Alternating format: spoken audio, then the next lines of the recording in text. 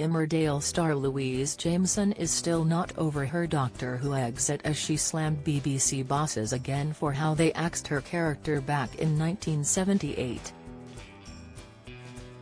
The 72-year-old, who played Leela, the Fourth Doctor's companion on the show, remains unhappy about how her departure was handled 45 years ago. She feels the loyal assistant deserved a better ending after falling for a native Gallifreyan after she and the Doctor went on an expedition, staying behind to begin a new life.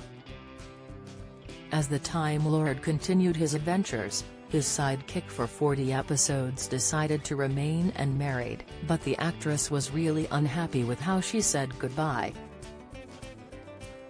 A guest at the BFI South Bank Doctor Who screening, she told fans why she feels things could have been concluded a lot better than they were.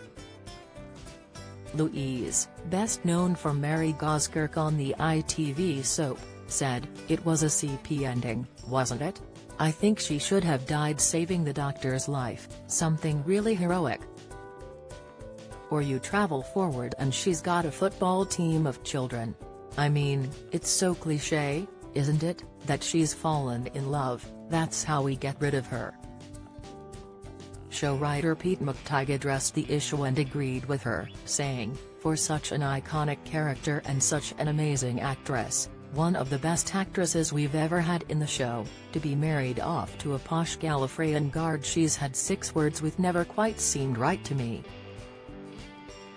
It's not the only character's exit Louise was frustrated with after Rosa DiMarco's sudden departure from EastEnders more than two decades ago. Louise appeared in over 200 episodes of the BBC soap, playing the matriarch of the Italian family before suddenly being booted from the show after two years in 2000 she has revealed her frustrations over how producers scrapped her character, telling Inside Soap, I was annoyed about the way it was announced. I was only told the night before it appeared in the papers. I thought they could have run it by me first so I could tell my family. It wasn't respectful.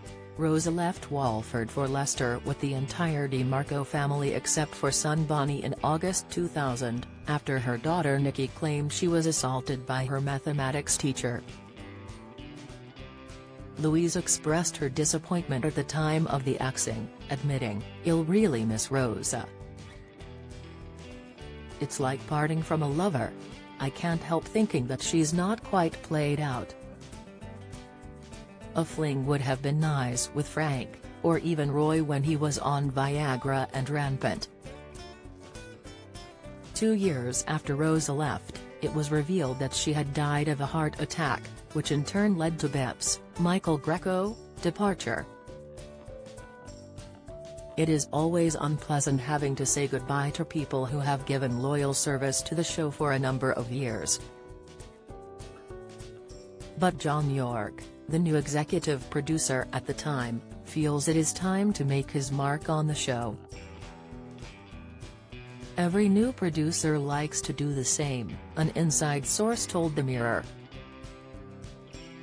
Follow Mirror celebs on TikTok, Snapchat, Instagram, Twitter, Facebook, YouTube and Threads.